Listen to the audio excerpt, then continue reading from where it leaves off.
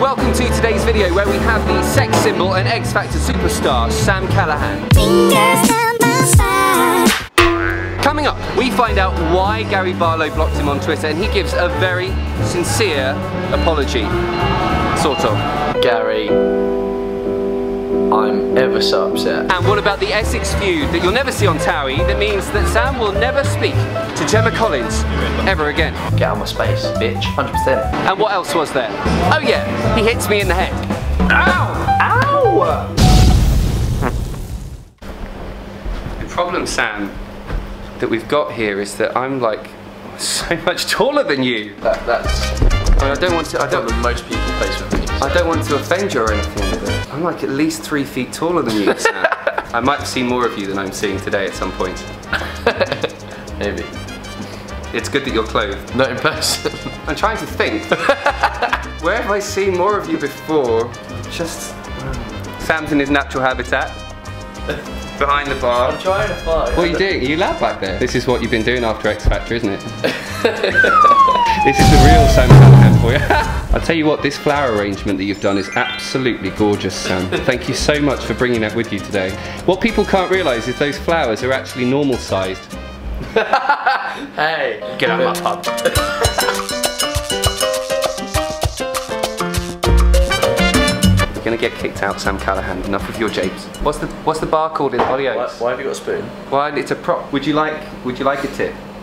Your gay following has increased recently, hasn't it? Mm-hmm. There are some people on the gay scene who are speculating Sam Callahan.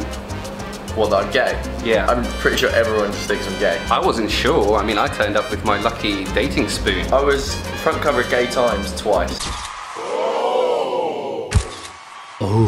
That might do it. And after that, it just sort of went. It went what? Okay.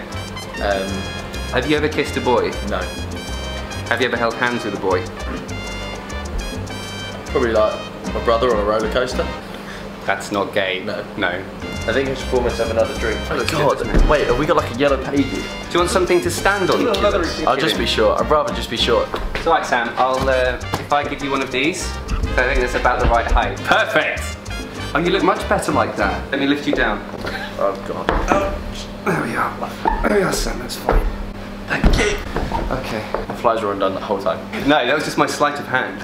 Right, enough of that whiffle waffle. I wanted to find out what was the deal with this feud he's been having with Gary Barlow since the X Factor. Why did Gary block Sam? Here's what Sam had to say. So I've never been 100% sure about what Gary Barlow thinks of me.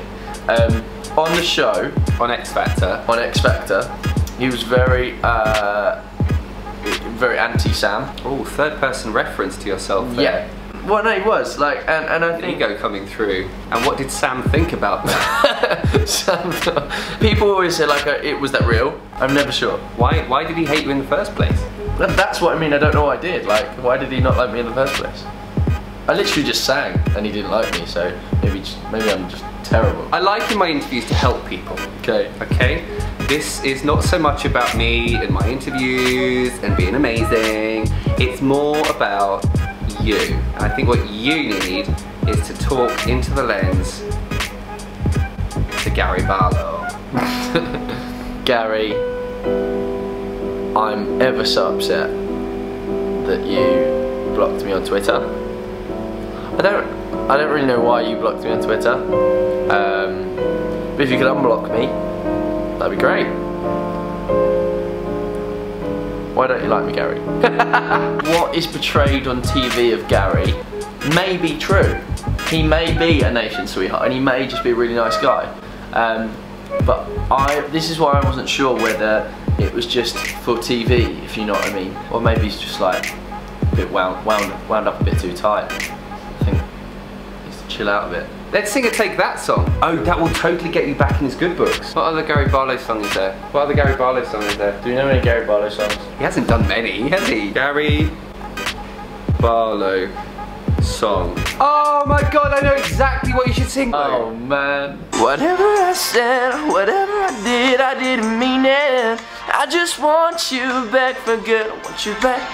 I want you back. Did you want I back? want you back for good, Gary. When I tweeted you the picture, I didn't think that you'd block me. Want you back, I want you back, I want you back for good. You look great in those pants, and better than me.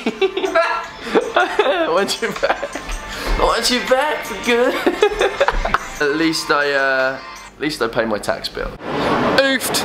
Gary Barlow, Grand High Lord of Pop, Archduke of Take That Bury, um, National Treasure. I'm sorry, Sam said that, not me. Change the subject. I've started going to the gym. Cool. Yeah. What do you do? Cross train. Have you been today? No. Uh, I go four or five times a week. You haven't seen. I'm closed. Take your top off and show me. I'm good. It's in the contract, isn't it? That he's No. taking his top off. Fuck me. It's like a grizzly bear. I like it real. It's natural. Mine's real. How I was it's born. just shape. Can I feel the prickles? No. Oh, okay. Suddenly it's got homophobic now. I'm gay. not. You just touched mine. I slapped yours. It's different. You're such a shirt lifter. Right, okay. Does that make you feel superior to me? No, but I'm so orange.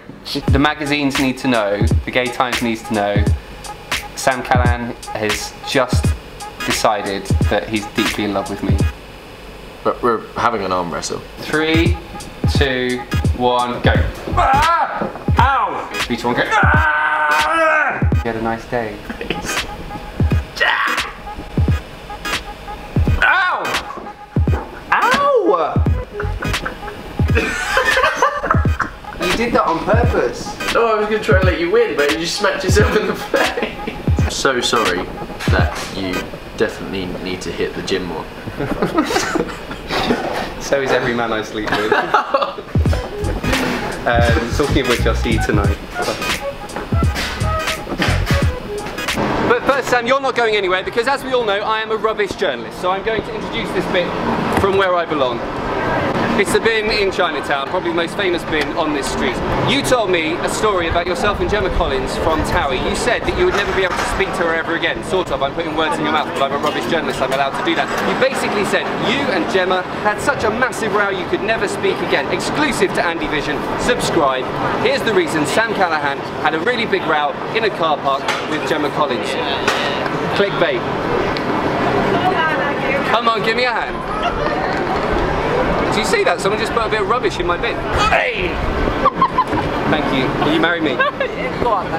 What we do here is go back, back, back, back, back, back, back. She argued with me about a parking space once. We had an argument. Where was it? Was it at a shop? Sainsbury's? It was behind her shop. She was just like, uh, you parked in my space again.